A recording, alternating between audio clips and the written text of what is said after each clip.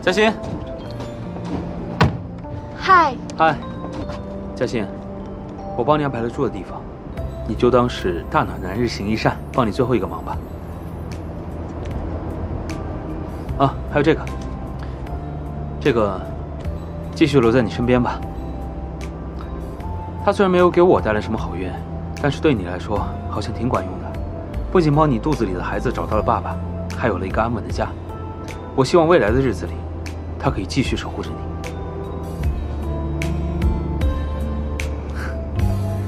走吧。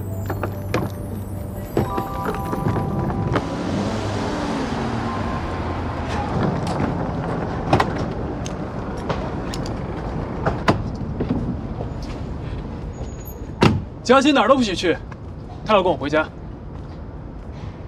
走，嘉欣，跟我回家。你没看到我留给你的便利贴吗？你留便利贴之前有跟我商量过吗？你你不是叫我安安静静的做一只蜗牛，不要有意见，平平静静的过完这一年吗？我说的每一句话，你都要记得这么清清楚楚吗？那你是叫我把你的话当成耳边风吗？你要是这么说，那我就把事情一件一件的捋清楚。有名义上的老公你能找，为什么让他陪你做产检？那是突发状况，我当时头晕想吐。然后刚巧遇见他。大哥，那是我工作的一郎啊。是沈律师让我替公司去签到的，我也不知道怎么就被姑姑拍到。闭嘴！王希怡，这件事不是陈嘉欣的错，你如果要发脾气，不要针对嘉欣。况且她现在是个孕妇。我说你怎么这么爱多管闲事儿啊？不知道的话，还以为你是孩子他爸爸呢。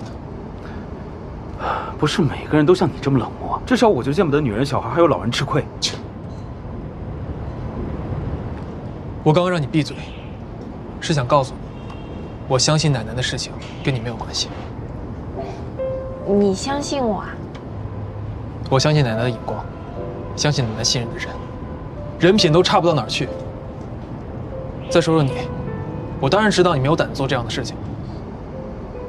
嘉欣，你这是被表扬了，还是被羞辱了？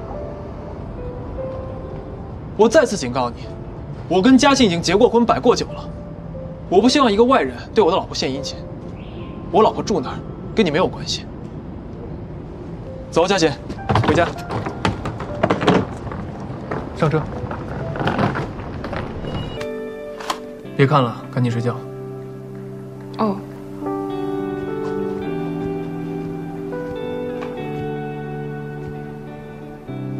为什么要逞强，装作没事的样子？明明也很难过。奶奶，你要快点醒过来。传承要在，奶奶也要在，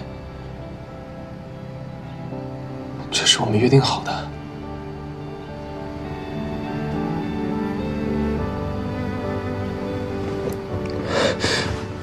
奶奶，你还记得我们的约定？我一定会让传承起死回生的。奶奶也要遵守约定，醒过来。这一次，我一定漂漂亮亮的赢给你看。加油！你一定可以守住跟奶奶的约定。什么？辞职？你好不容易从打杂小妹到沈律师的助理，这是方宇薇他们盼都盼不来的机会，你怎么能有这种想法呢？要把自己安身立命的工作给辞掉？我不同意！你怎么和王希逸说的一模一样？他真这么说的？嗯。嘉欣，你不要忘了你说过要靠自己在上海立足的，不要忘了自己的初衷。你放心吧，我是不会为了结婚就放弃我自己的人生的。那说好了啊，请假可以，辞职我绝对不同意。嗯。哎呀，宝贝，你真是我的小天使。嗯嘉欣，你是遇上一个小天使，我却摊上一个小恶魔。你是不知道，现在跟我一起住那个男的，长得跟猩猩一样，有多猥琐。救我！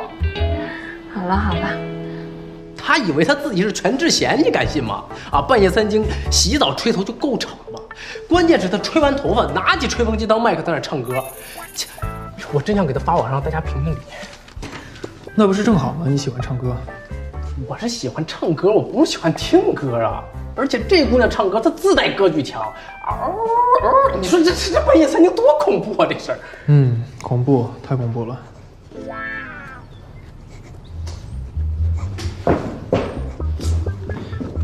易总，天易总，你看现在情况是这么个情况，你小媳妇回老家，光荣任务啊，我也给完成了，我能不能帮我？可以啊。除非你从我这儿离职。What？你不是在那儿住的好好的吗？万一哪天陈嘉欣跟我闹矛盾，又跑回去住怎么办？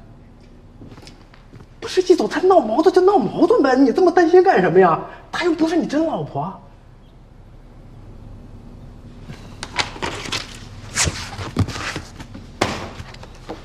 什么意思呀？啊，你真把她当老婆呀？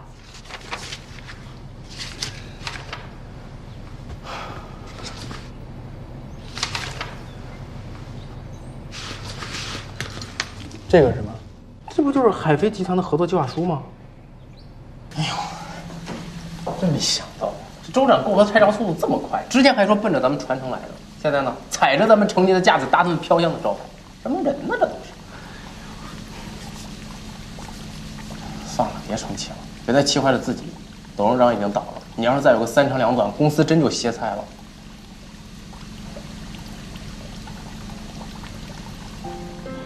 肥皂用完了。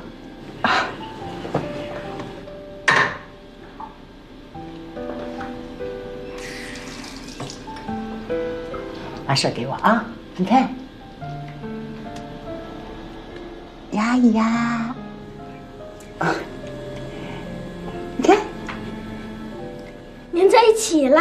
啊没错，这就是传承的意义。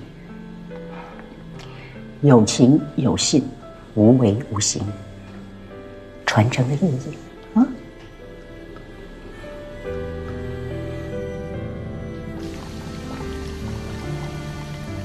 奶奶，我该怎么办呀？干嘛去？哎，我没洗手，等我。哎，等我，等我，等我。